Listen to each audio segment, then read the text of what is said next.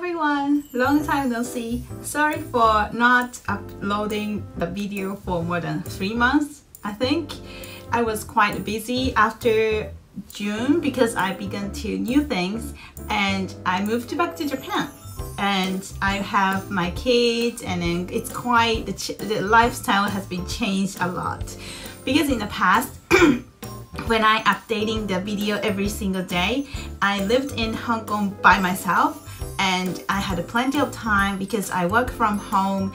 And actually I lost the job in the end of April. So this is the reason why I have plenty of the time but these days I got a new job but not full-time as a freelance. I already registered as self-employed in Japan but uh, I am doing the consultant and also I do have my own business.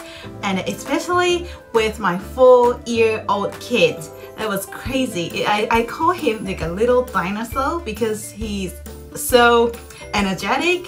He didn't take any naps. He used to have the nap in the past but not these days so on weekdays I have to work but of course everything work from home and it's quite comfortable. I really cannot imagine that to go back to the office anymore and this is the reason why I decided to work as a self-employed. And on weekends that was crazy. I just had to spend a lot of time with my kid. It, it, it's quite fun but also it's really like energy consuming.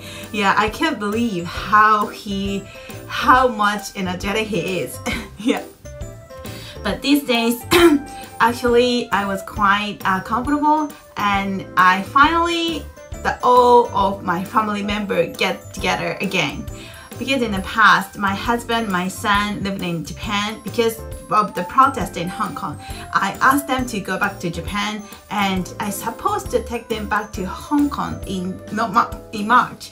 But because COVID-19 I couldn't make it. And then finally I lost the job and I got some uh, freelance job which I cannot apply for working visa in Hong Kong. It's gonna be illegal. That's why I decided to move back to Japan uh, because but uh, I think I wish I could go somewhere in the future as well after the, the situation is getting better. And but uh, now I decide to stay in Japan because this is my home country. So these days I'm quite happy. Uh, uh actually I'm always happy to be honest but this is the reason why I couldn't upload the for long long time. But yesterday via Instagram I found very nice lady in the Philippines like in Manila and we promised that we collaborate with each other in the future. So I decided to take this video and I try to update upload the videos as much as possible. But I cannot promise. I will do my best. Thank you. Bye